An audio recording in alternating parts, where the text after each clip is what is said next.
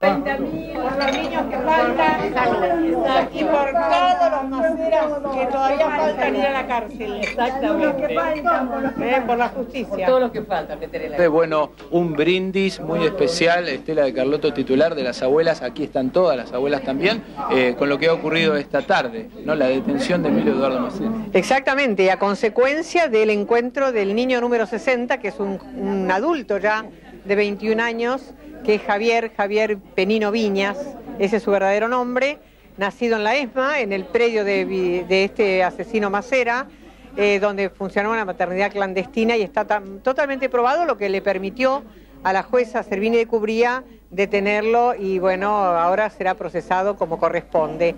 Esto sí es motivos de brindis porque eh, nos da esperanzas de que es posible romper la impunidad, de que los poderosos y los dueños de la vida y de la muerte, que continuaron siéndolo a pesar de, haber sido juzgados y condenados aún hasta hoy en día, no lo son y que son los niños, que hoy son jóvenes, los que lo señalan con el dedo eh, a través de nuestra búsqueda. Yo creo que el encuentro de un chico y la prisión de Macera es para que en todo el mundo se levante una copa, porque los Macera pueden reproducirse en cualquier lugar del mundo si en la Argentina no se hace justicia.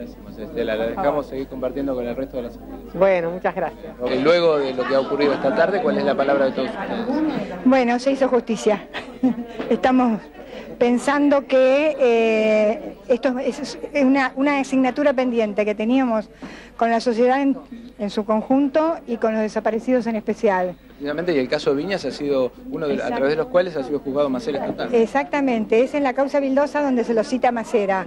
Es- eso no quiere decir que no haya otras causas que aportan pruebas, pero es la causa Vildosa donde tenemos al menor nacido en cautiverio, que estaba en manos nada más y nada menos que del jefe del campo de tareas, el comandante Vildosa, y además Este tenemos... chico fue apropiado por Vildosa, para que Vildosa, al- exactamente. quizá hay algunos que todavía le- les cuentan. No, no, no, él fue apropiado por Vildosa, que era en el momento en que era el comandante del, de- el campo de concentración clandestino que funcionaba en la E.